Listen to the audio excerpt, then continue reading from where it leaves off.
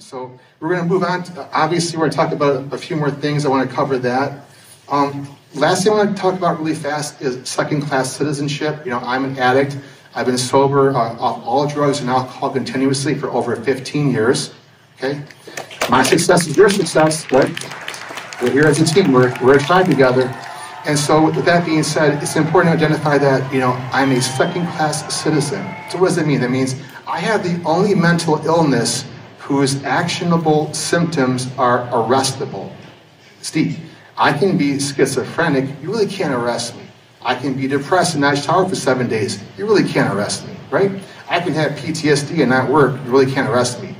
But the active use of illegal drugs, right, is a function of having an addiction, right? So you guys understand in Michigan the law is 0.25 grams is a felony, right?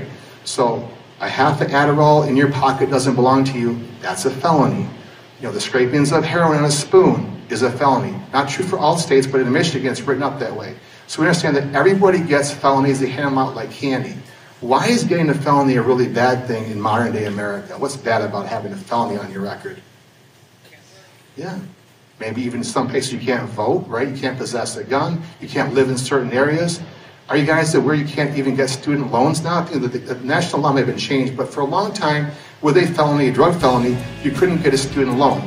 Now, here's the good news for child molesters. You can molest children and get a student loan, right? That's good news, right? And so also getting caught in Michigan with drugs is a felony and you lose your license for six months. You know that? Six months. But you can shoot somebody in the head and come out of prison, no problem with your driver's license. You can molest children, right? And keep your driver's license. The only one that loses the license is being caught with drugs. That's very interesting. I don't know why that's going to be a thing. So there's a making a second class citizenship. And you really see what's happening here.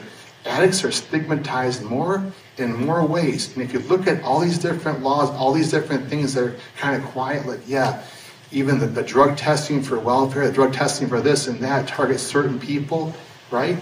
And uh, no one ever so focuses on drug testing judges and police officers to keep their jobs, right?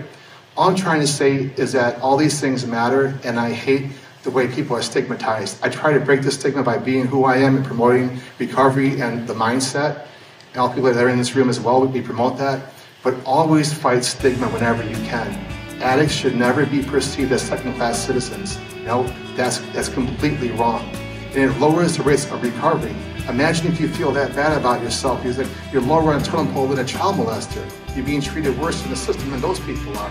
And everything is a felony? That's not fair. Okay? Any questions so far? Is this helpful? Too hardcore? Honest though, right? Okay, I'm honest, right? Okay.